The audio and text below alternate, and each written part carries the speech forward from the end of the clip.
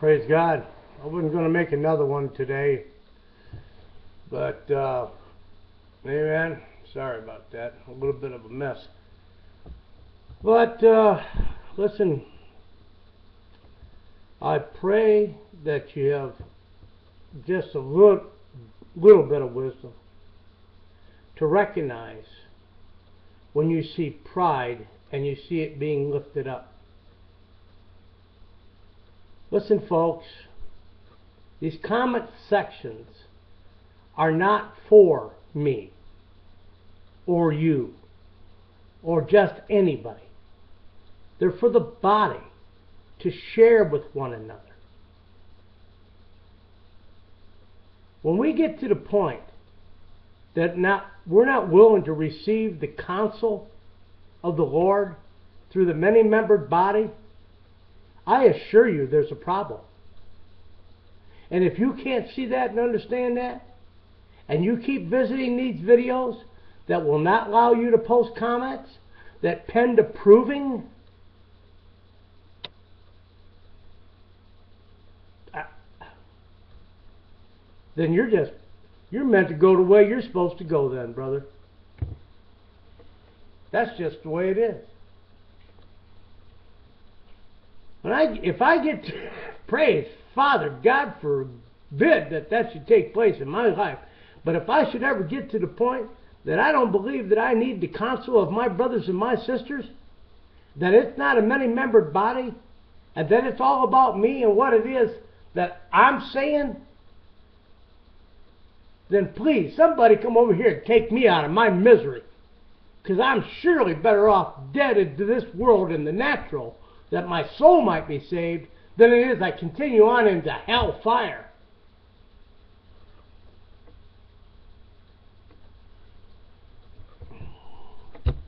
You know, I just went back. I, I listen. There has been no lack of love shown and expressed to Sister 777 AEJ. No lack. None whatsoever. I've listened to the comments. I've watched them. And what I dearly loved the most wasn't so much about what she had to say, because like I told you, any of you have studied the Word of God, 99% of what she said was the Lord speaking through her. He's already written in the Word of God. Come on. The couple of times that the Father by grace spoke through the mouth of a babe, Amen, Jesus. But then she got lifted up in it. That's what pride will do. It was a trial and a testing of her heart. And from what I can see right now, it don't look good.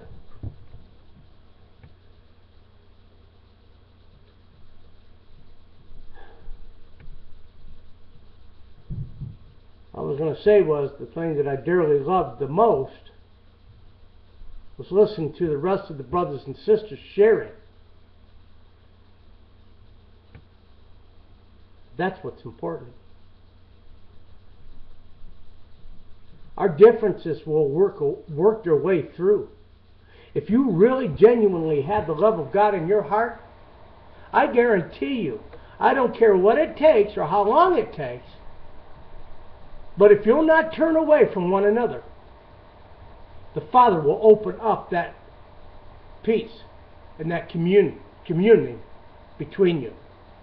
The only way that would not happen, the only way that would not happen, is that one or the other has turned away.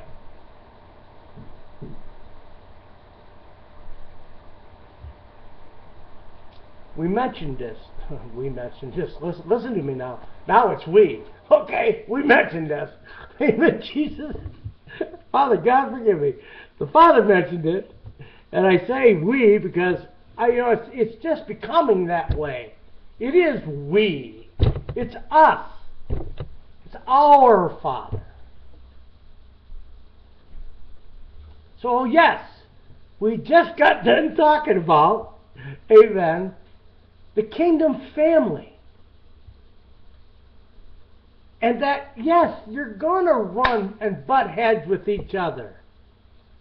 But if it's in love, I guarantee you an hour and a half later, a day and a half later, two, three days, two or three weeks, somewhere along the line, amen, Jesus, the Father will open up a door between the two of you to begin to start to grow on some common ground. Now, some of us, and we had to shared this about the different colors of the breastplate. They're just different lights coming from different angles, different hues. Don't be offended by each other. Step back and say, okay, well, brother or sister, I don't really see what you're saying right there, right now. But I'll get back with you. okay? I'll get back with you. And go digest some of that stuff. Don't come out here. Oh my God. You know, it's just another lie of this harlot system that the sword was ever supposed to be used against one another in the first place. It never was. It was always to be used in defense of the enemy trying to come in among us. That's what the discernment was all about. Now this is okay. See now, this is another part where we're in disobedience right now. We, you're going to have to come out of it because if you don't come out of these different little areas that I'm, the Father is sharing with us at this hour, then we're going to get left out. And one of these areas is the fact that you are not all matured at the same level, and some of you who are just now coming into this really need to keep your comments down to a minimum. This is not to say that out of mouths of babes shall I speak to these my people. I'm not saying that. But that is few and far between. It is not the rule. The rule in kingdom order is in the state of maturity spiritually.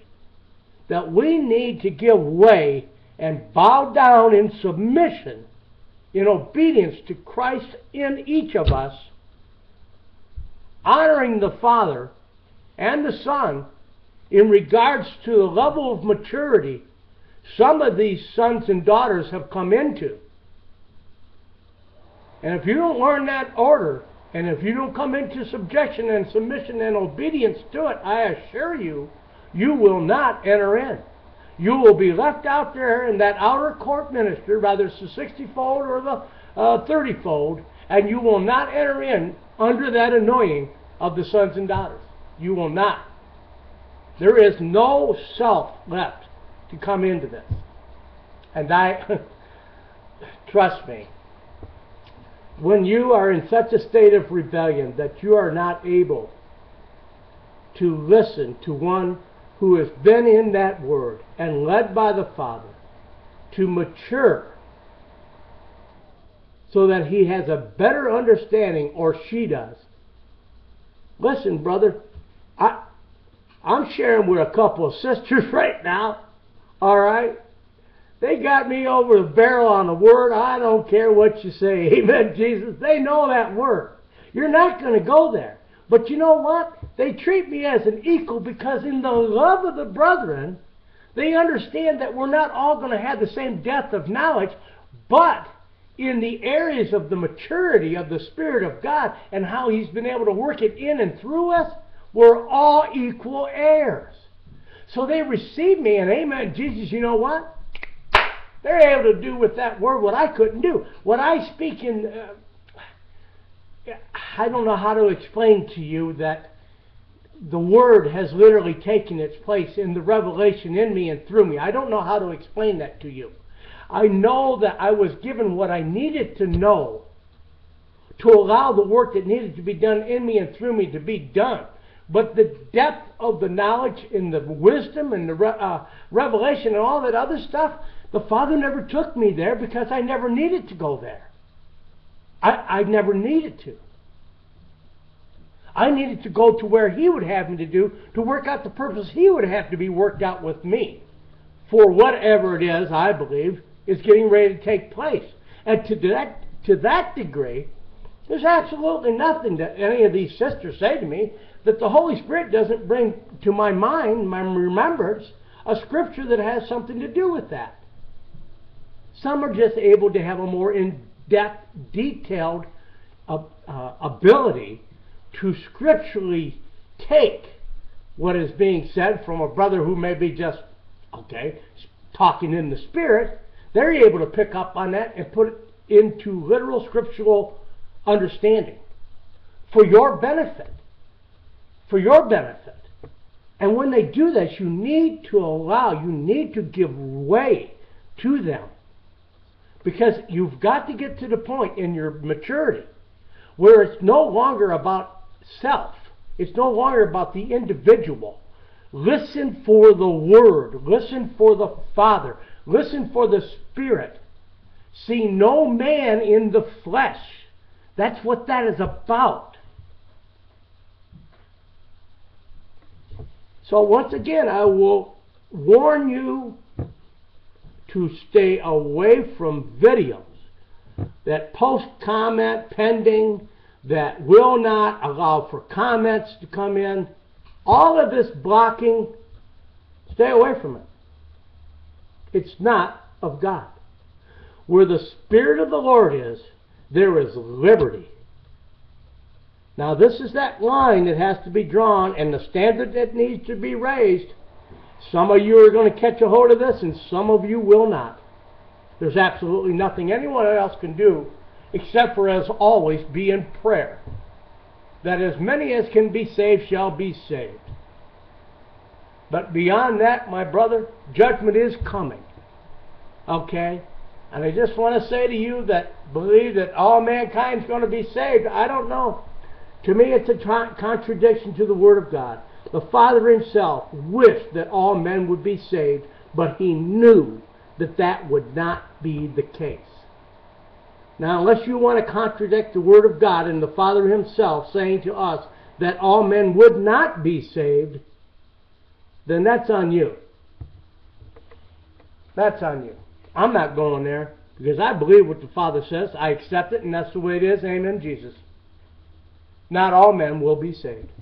It was his desire that they be, but he knew that that would not happen. So, just wanted to put that out real quick because, like I said, I was going to go over and I saw she had a, a video up, and I, I we should all be ready to welcome back into the fold any and all who have gone off and astray. And no one has not gone off astray at one point in time in one way or another. We all have. And those who have matured in the Word understand that most importantly about themselves, first and foremost. He who is forgiven much loves much. And if you really understood the truth of that, my brother, you'd know that the mercy and the love that the Father has shown to that individual who had to be forgiven much is then in turn able to cause that person to love much. But at the same time, the way he and she learned it was through the chastisement and the whippings of the Father in their lives. So, I love you guys, and uh, I pray to the Father that uh, you begin to start to come into this in obedience. I can assure you what's being said to you right here, right now, is going to continue to be said to you throughout this entire next 42 month period, or three and a half year period. Three, three and a half years. As I've said before, I believe this is the finished week I've talked to you about Daniel. I've told you that Daniel's prophecy, his 70th week, cannot take place until the Messiah's week has been finished. It was cut short to allow for the period of salvation, for the period of grace. It does not say it was finished, it says it was cut short. And when I say common sense, I'm talking about spiritual common sense not natural common sense. But even if I was to do that, the Lord Jesus took natural things in the earth and used spiritual, brought out spiritual truths. So again, don't get hung up on the semantics thing. My brother, Sister Believer gave a thing about that semantics. Just let it flow from your hearts in love. It's the Spirit of God working in us and through us. Who you think you are, anyway? Who any of us think we are? Amen? Okay. So, anyway, that's the way it is. That's just the way it is. I love you folks. Uh, I don't know I got much more to say. Oh yeah, I mentioned something that I started to say in the earlier video here today, and I usually don't like putting out two, because what happens is is the last one becomes the first one everybody uh, listens to, and then uh, they never get the the first one, which to me, I'm sorry, was the most important one. But either way, six of one, half dozen of the other. I just trust you guys that you're going to go ahead and listen and receive and uh, share back. Once again, this channel will always be open for all the brethren to share with one another and come to know each other in the Lord. That's the point and the purpose of it. Not that I got. Listen, I read them over. Sometimes I'll give an amen and a hallelujah, thank you, Jesus. Maybe throw in a little this or something of that. But mainly, I just love watching, hearing what you guys got to say and how you're sharing with each other. It's a beautiful thing. When it really starts to roll, it's something else. Amen? So, it's to edify the body, not me, not the individual. I don't know where she got it at, but I guess she's looking for a format, she says, that uh, I suppose that she can somehow share this wisdom God has given her. Amen. I said, well, Brother Andrew, isn't that what you're saying regarding to that one individual? No, brother, that ain't what I'm saying. What I'm saying is that God Himself is going to speak to that individual. Now, how is that different than prophecy? I don't know. We're going to have to see and find out, but I think there's a world of difference in regards to that. I think it has to do with the power and the authority of God by which that the Father speaks through that individual. There won't be any question in your mind. We're just being prepared for that right now. So we're able to receive it by faith. That may be what's behind a lot of the uh, movement of the Spirit in prophecy at this hour. Just to really to get us used to actually believing that the Father is going to speak through uh, an individual. Now, you know it's all true. Uh, uh, uh, some of you may have a little bit of a problem with natural Israel and spiritual Israel. And so when you see uh, the two witnesses standing in Jerusalem, you may assume that they both stand up in natural Jerusalem. And I'm not going to say that in the natural, that may not be true. But I don't believe it's exclusive to the natural. I believe that the spiritual comes forth first in the end rather than the natural. As you know, the Word says, first the natural, then the spiritual. This is what I believe Jesus was telling us would change about.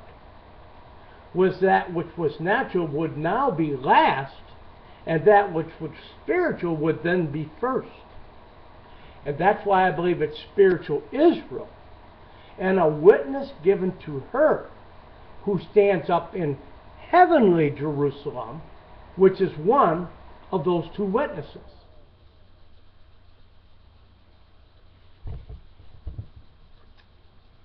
So, you might want to take another look at that. See if you don't see what I see.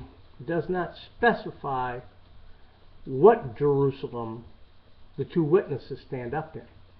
And if what I believe is true, which I don't know how it can't be, it only stands to reason that the spiritual witness that comes forth just before the tribulation begins is for the sake of bringing forth repentance to the natural branch, that she might be grafted back in.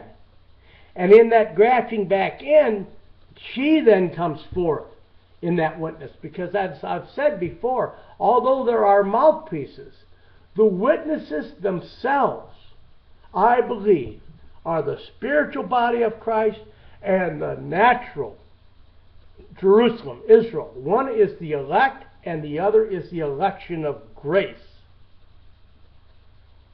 Like I said, the mouthpiece is not the trumpet, the body is the trumpet. Getting this? okay. I love you guys. See you later.